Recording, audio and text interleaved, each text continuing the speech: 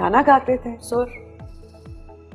नहीं आ, सुरीले थे हाँ उनके हाथों में सुर है उनके दिमाग में सुर है और अ, मैं समझती हूँ म्यूज़िक म्यूजिशियन जो होता है वो एक ये अल्लाह ताला की देन है। एक एक होता है जैसे तोहफा है? तोहफा है। ओ यस जैसे जैसे मेरे बड़े भाई उनको कहते हैं मेरे बड़े भाई के बहुत अच्छे दोस्त रहे वो। उन्होंने कहा he is not a musician he is a magician really yes yes yes So then is. what happened, Gulerana? Why didn't it work out? Um शायद मेरा गलत डिसीज़न था मेरा गलत डिसीज़न था और अ, अ, आजकल की मैं समझती हूँ अगर 19-20 साल की जो लड़की होती है बच्ची होती है वो शायद अ, उस ज़माने की कोई 40 साल की उसका मेंटल लेवल जो है वो शायद उससे भी आगे है उस वक्त की 18-19 साल के मतलब मुझे ये How था। you when you got married? Nineteen और और मैं आगे भी सुन लो ना तो मेरे मेरे जहन में ये था कि सो व्हाट करूँगी? नहीं नहीं सही लगेगा तो वापस आ जाऊँगी। यही सोचा हुआ था। हाँ ना। गलत बात तो कर ही नहीं रही बिल्कुल। अब तो अब तो अंदर भी एक वो नहीं रहा एक एक डर खौफ होता है ना जो थोड़ा बहुत होता है वो पता नहीं कहाँ चला गया। मेरे में पता नहीं डर खौफ वाली कोई अब मुझे भी पता है ये ये इंटरव्यू शायद कोई देखेगा या शायद कोई शायद ना देखे या शायद बहुत सारे लोग देखें। तो आई डोंट माइंड कि किसी को भी अगर ये बात या किसी जिसके लिए बात कर रही हूँ वो भी सुन ले तो आ, पता नहीं क्या हो गया कि डर खौफ का एलिमेंट जो है वो दिमाग से कहीं दिल से कहीं कहीं चला ही गया है। जब जहाँ जो दिल चाहे बुलवा लो कहलवा लो जो जो हकीकत है जो सच है पता नहीं। वो ड्रामों की कोई ज़रूरत नहीं होती ज़िंदगी में वैसे भी गुलेराना सच ही याद रहता है झूठ तो वैसे ही भूल जाता है। फिर बात है फिर मौला का फरमान मुझे याद आता है कि मौला फरमाते हैं अपनी जबान को झूठ से पाक कर लो हर दुआ कबूल होगी हाँ। कितने साल का था आसिम जब you got divorced ten he was 10 10 साल तक फादर को देखा उनके साथ अभी भी देखता है।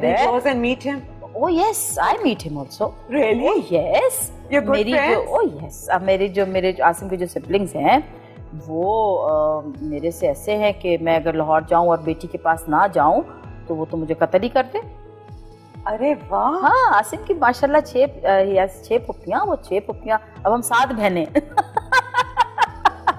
Of course. And if I told you that I don't lie, I don't lie. अपने लिए मैंने एक स्लोगन बनाया हुआ है, खुद से। और मैं कोशिश है मेरी कि मैं उस पर बहुत ज़्यादा अमल करूँ।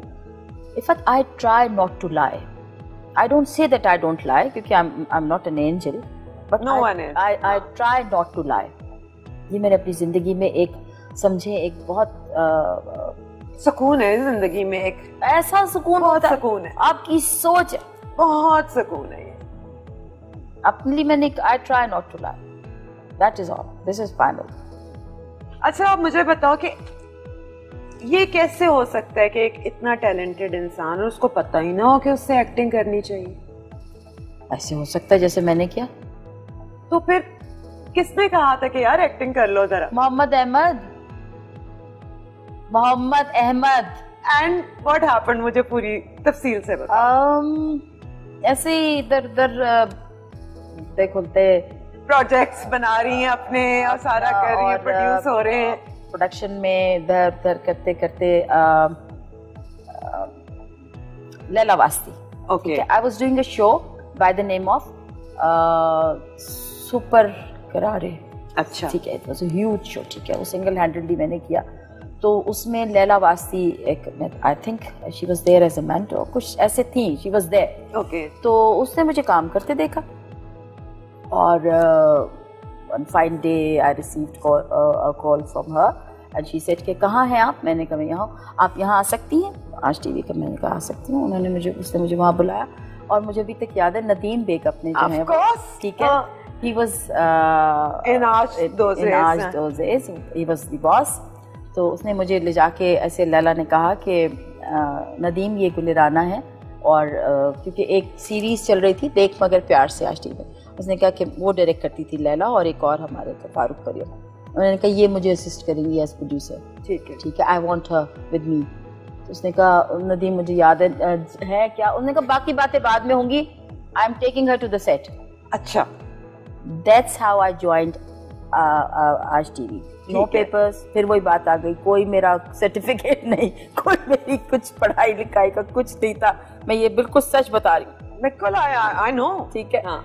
एंड uh, मैं चली गई प्रोडक्शन पे।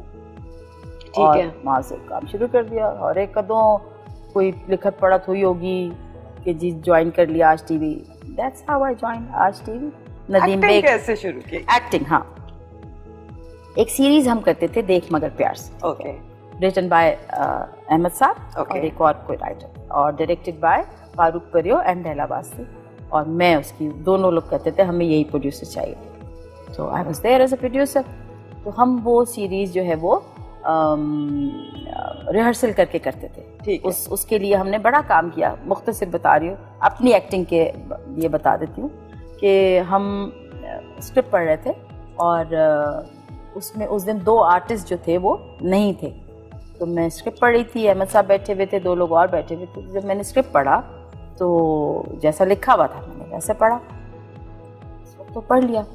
जब हम उस मीटिंग से उस रिहर्सल से बाहर निकले तो मुझे अभी तक याद है कि अहमद साहब ने कहा था why don't you act good तो मैंने जितनी तेज मैं बोलती हूँ रिक्शा की तरह उसी तरह मैंने कहा जी मुझे ये क्या कह रहे हैं मुझे नहीं कोई एक्टिंग मैंने कहा फजूल बात कर।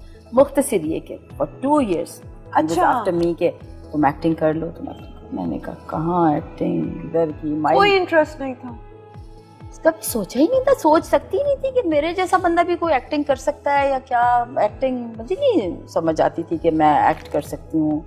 अच्छा you thought you can't do it no because मैं इतना uh, मैं इतनी रफ टफ सी हूँ और इतना ब्लंट uh, बोलना और इतनी तेज तेज बोलना तो हमने टेलीविज़न पे देखा है एक आप जैसे चेहरे देखे और uh, लोगों को एक्टिंग करते देखा तो मैंने कहा मेरे बस की तो बात नहीं है एक्टिंग करना। एक्ट एक्ट करना मेरे बस की बात नहीं है।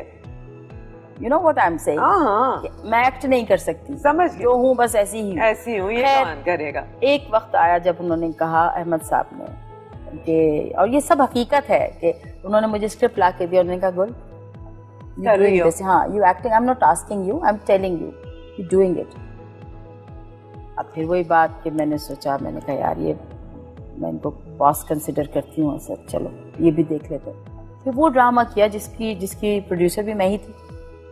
प्रोडक्शन भी मैं ही देख रही थी। अच्छा। और आ, आ, मैंने उनसे ये कहा मैंने कहा देखिए ये फिर आपकी ज़िम्मेदारी है। मैं जैसे बोलती हूँ मैं इसमें कुछ ऐड नहीं कर सकती। ये मैं कोई अच्छी बात नहीं बता रही। इंसान सीखता है। मैं बिल्कुल सीखने के उम्र में नहीं थी कि मैं मैंने कहा जो मैं हूँ फिर मैं नखरे से कर रही हूँ अब। नखरा भी नहीं है फत। मतलब ये कि मैंने कहा मुझे यही आता है मत साहब। जो लिखा हुआ मैं एज इट इज़ पढ़ दूँगी बस। फिर आप अगर कुछ कहेंगे तो फिर आपकी ज़िम्मेदारी।